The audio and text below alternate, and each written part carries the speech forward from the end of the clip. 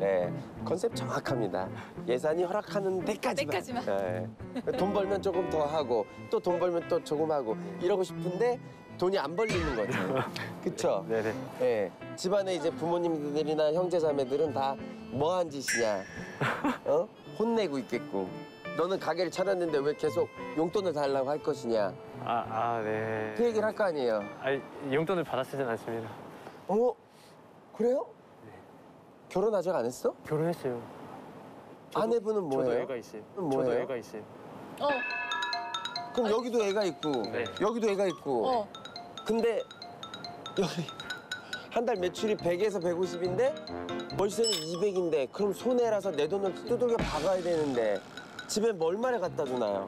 공개할 수가 없습니다. 아니 생활을 누가 해? 생활은 아내가 하죠.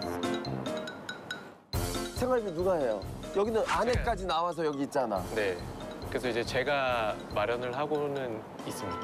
뭐야 도대체 니들 정체가 희한하네. 애 아빠하고 아내도 있고 가정이 다 있는데 이렇게 가면 안 되지. 하루에 3만 5만 원 팔아가지고 어떻게 네명 다섯 명이 먹고 살아? 절대 안 돼. 큰일 난다 니네 이러면. 어떻게 내가 뭘 해야 되는 건데? 그런 눈빛으로 보지 마. 저기요. 어 부담 부담돼. 솔루션 얘기하지 마. 저희는 하지 마. 도움이 필요합니다. 도움 필요 없어. 야 아래, 아래 얘네들은 내려가서 저희 커피 한 잔 마시면서 이성해야 될 것 같아요. 포기. 자력 포기. 자력 포기. 네, 일 매출로만 본다고 해도 하루에 사실 한 3만 원, 3만 원 30일 일 안 하고 25일 일합니다. 왜 쉬어 니네가?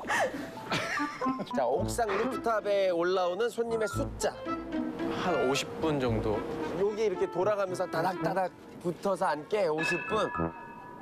아내분은 뭐예요? 저도 뭐예요? 애가 있어요.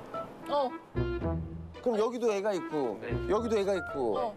뭐야 도대체 니들 정체가?